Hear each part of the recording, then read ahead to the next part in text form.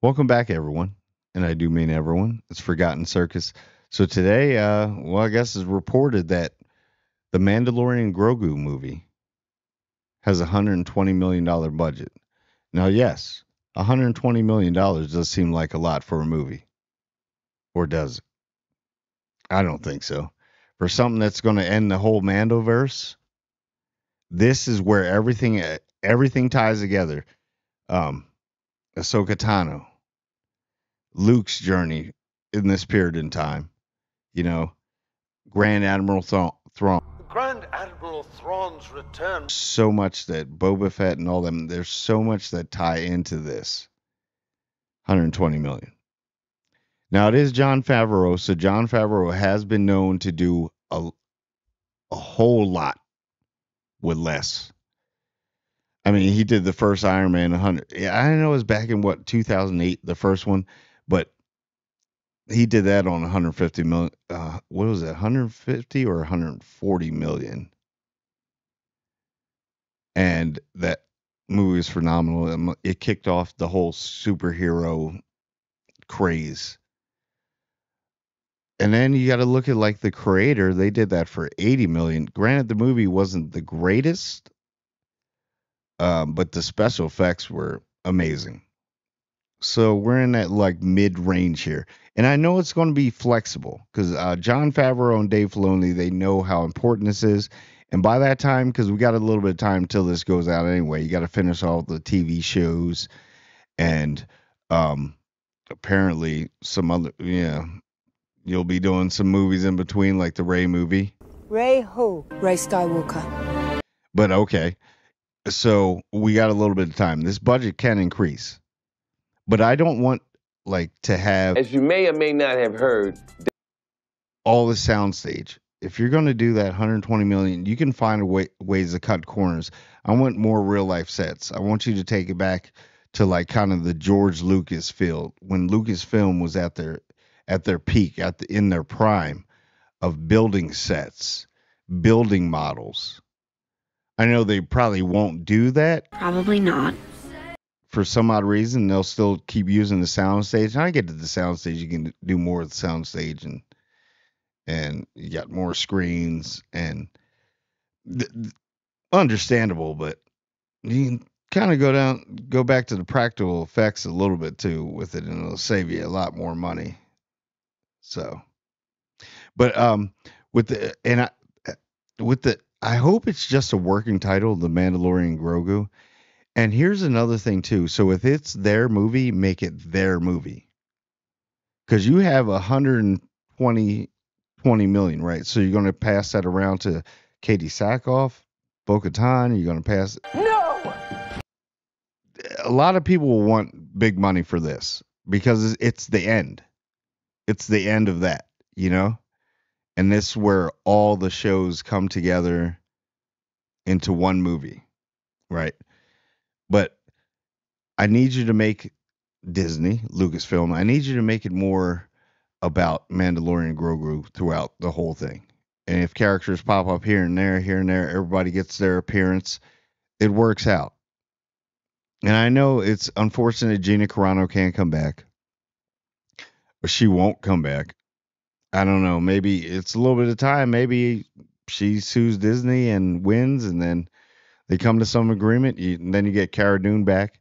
Greef Karga is, uh, uh, yeah, Carl Weathers, rest in peace. I mean, just do something with his likeness. I would appreciate that, or um, Let's honor him. do like a whole whole portion where it's a little bit about grief. But and then Luke, Luke Skywalker this, Luke Skywalker that. You guys made Luke so badass in season two, like ridiculous. Bring Luke back. I mean, well, you don't have to really do. I don't think. See, that's another thing they've messed that up with Mark Hamill too. He's done, so it's like, are we going to talk about Luke? See, this is this is what why this movie is so important because it could literally fix all those debacles of TV shows like the the Obi Wan show and Book of Boba Fett. None of the stuff made sense. I mean, look what you did with uh, in the Mandalorian, and you you got Cobb Vanth, you got Cad Bane. There's so many people that you can put in this movie. Just don't let all those people overtake the main focus. That was your lightning in a bottle, Disney. So let it end off right. And we'll see. It's it's gonna be it's gonna be um, 120 million. Can you swing in that? I'm not sure it's going to be enough this time. It's kind of lowballing something something like this because I I don't know. May, maybe you want to make more than one movie, and you want to start off with that. But see, when, when you do, just end off on that. When you start doing that, like, well, it leaves it open to other movies, you know, after this. I'm like, just just leave it off on that and find find your way, please, because I don't know why this movie doesn't at least have a two hundred million dollar budget. That's an interesting question. At least a two hundred million. This is Star Wars. See, this is the problem. They'll spend it in how much? l- Let's look up how much Rogue One was made for, and that thing was a friggin' masterpiece. Let's see Rogue One budget. Let's see. Because they can get that budget, if they can get an increase, maybe it's lower, and then I'm bidding high here. So let's see. One budget. No, I'm going to have a bigger budget then, and I could really use. It was say 200 million. Rogue One budget was 200 million. Oh, 120. I think Favreau and Filoni could pull it off, and this may be a prove it deal here. If you want me to prove it to you, I'll prove it to you. But we still don't know how the shows are going to go. What shows are going to is there going to be a season 2 of Ahsoka? Is there going to be, you know, I mean, they're ending off Andor. So there's a lot of stuff that could change this movie.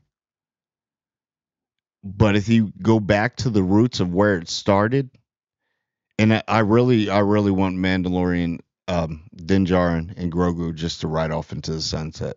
I think would be perfect. I think just don't milk this anymore. You, you, you already made ton of merch money off of Grogu, Baby Yoda, still Baby Yoda. Look at all the money you made off of that.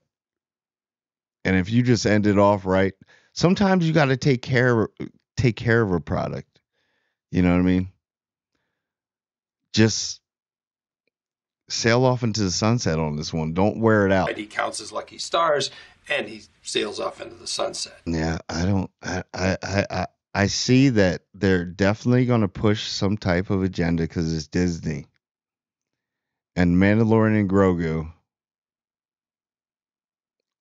Lucasfilm, are still owned by Disney. So I don't know. They'll probably mess this one up. And Favreau, I know Favreau's going to try. I know Filoni's going to try.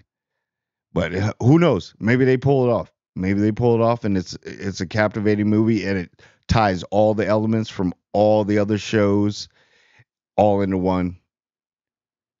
You know, hopefully, in theory. But anyway, I don't know. I was just rambling. I just thought about it. Do you think that 120 million dollars is enough for the Mandalorian and Grogu movie? Please don't let that be the title.